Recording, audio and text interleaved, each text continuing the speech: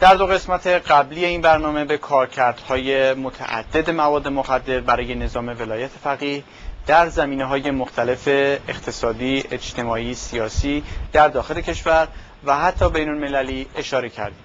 از به دست آوردن منافع سرشار مالی تا حذف مخالفان با اتهام مواد مخدر تا پرونده سازی برای جوانان قیام آفرین تا به احتیاط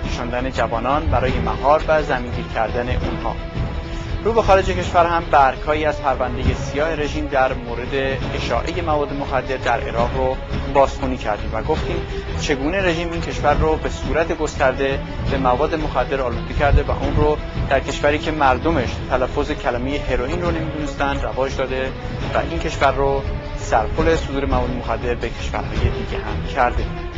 در این برنامه می‌پردازیم به قاچاق مواد مخدر توسط رژیم به دیگر کشورهای همسایه و این رو از کویت شروع می‌کنیم.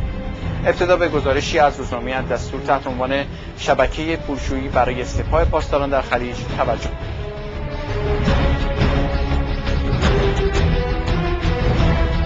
از سالها پیش رژیم ایران به طور خاص از طریق سپاه پاسداران از زیربنای مالی و تجاری توسعه یافته کشورهای خلیج فارس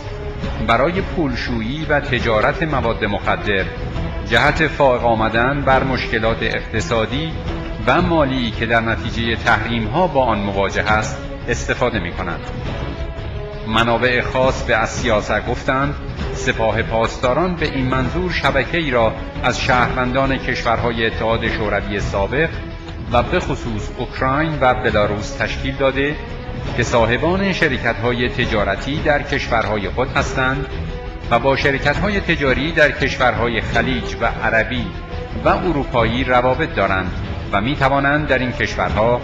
بدون اینکه شکی برانگیزند رفت و آمد کنند.